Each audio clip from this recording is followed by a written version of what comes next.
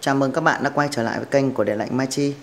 Thì ngày hôm nay mình à, lại cảm thấy rất là vui khi lại gặp lại được các bạn ở trong cái video clip chia sẻ của mình. Thì hôm nay mình lại làm video clip à, để chia sẻ cho các bạn cách làm sao để mà chúng ta à, có thể là gì thu ga cưỡng bức hoặc là cách này mà chúng ta lại cho cái khối cục nóng của máy điều hòa Panasonic inverter chạy mà không cần cái à, bo mặt lạnh cũng như là các cái à, uh, kết nối. Chúng ta chỉ cần nguyên là gì?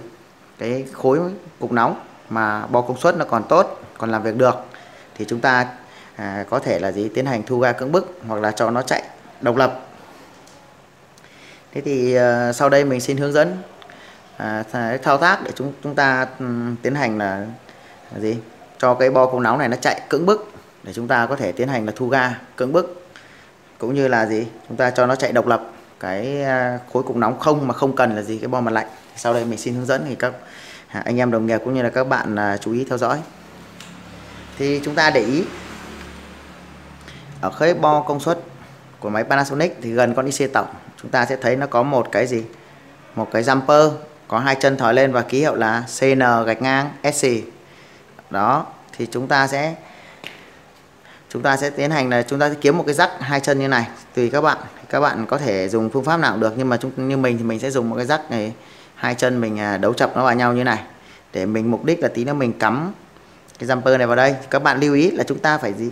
Chập hai chân này cố định trong toàn suốt quá trình máy chạy, chứ các bạn không phải là lấy gì các bạn lấy cái à, cái, cái que đồng hồ hay cái gì các bạn à, tô vít hay các bạn chọc vào đây các bạn giữ là nó chập chờn là máy sẽ không làm việc được các bạn nhé mà chúng ta phải gì kiếm một cái rắc hoặc là làm như nào đấy chúng ta phải làm cho hai cái chân này của nó gì à, chập vào nhau. Cố định trong quá trình máy chạy. Đó các bạn như mình thì mình làm cái rắc hai chân như thế này. Mình hàn chập nó vào nhau và mình cắm cố định luôn. Rồi sau đó các bạn gì? Ở đây các bạn thấy là dây kết nối của nó có gì?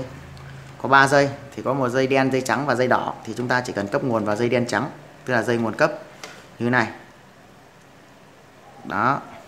Còn dây dây kết nối giao tiếp dây đỏ này thì chúng ta chúng ta không cần à, chúng ta không cần cắm chúng ta cứ để không. Chúng ta chỉ cần cấp nguồn vào chân à, dây đen trắng thôi. Sau khi các bạn gì? Sau khi các bạn à, à, tránh chập hai cái chân à, của cái jumper CN cái ngang SC này rồi thì chúng ta sẽ tiến hành cấp điện vào, vào máy nó sẽ điều khiển cho máy nén chạy và chúng ta tiến hành thu ga cưỡng bức bây giờ mình sẽ tiến hành à, làm thử cho các bạn xem. Sau khi chúng ta đã chuẩn bị được dây cấp nguồn cho cái bo cục nóng như này, thì chúng ta sẽ tiến hành gì? Cấp điện cho bo cục nóng. Đầu tiên mình sẽ cắm điện cho bo cục nóng này. Sau đó các bạn dùng cái rắc hai chân, như mình đã chuẩn bị sẵn ở đây, chúng ta sẽ cắm chập hai chân CNS này. Và các bạn chờ một tí. các bạn thấy lốc máy gì? Bắt đầu chạy luôn.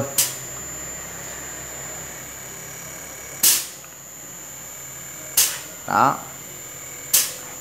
Các bạn lưu ý nhé là chúng ta phải gì? Chúng ta phải đánh chập hai chân CN uh, à, SC này.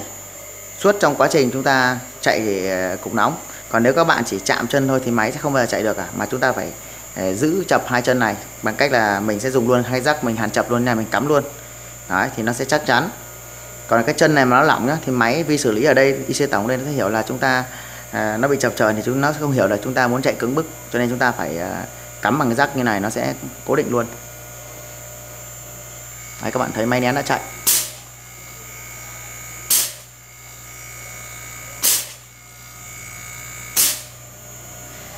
Rồi như vậy là vừa rồi mình đã hướng dẫn các bạn à, cái thao tác à, để chúng ta làm sao để chúng ta chạy cưỡng bức một cái à, chạy cưỡng bức cái cục nóng của máy điều hòa Panasonic inverter mà không cần tới bo mặt lạnh. Trong cái trường hợp mà cái bo mặt lạnh bị hư hỏng hoặc là vì lý do nào đấy mà chúng ta cần cái khối cục nóng nó chạy lên để chúng ta tiến hành thu ga cưỡng bức.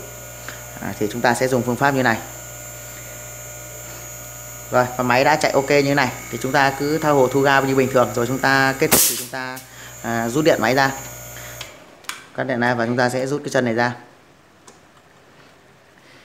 Rồi và video hướng dẫn của mình à, chia sẻ đến đây là kết thúc. Và mình à, chúc tất cả các anh em đồng nghiệp chúng ta có thể à, tham khảo tham hỏi thêm và thành công à, một lần nữa mình cảm ơn tất cả các bạn đã dành thời gian quan tâm theo dõi video của mình. Và mình xin à, kết thúc video ở đây. Nếu các bạn thấy video của mình hay và chia sẻ hữu ích thì hãy like video cũng như là đăng ký kênh để ủng hộ cho kênh của điện lạnh Mai Chi. À, xin chân thành cảm ơn tất cả các bạn và hẹn gặp lại các bạn ở các video chia sẻ tiếp theo của mình.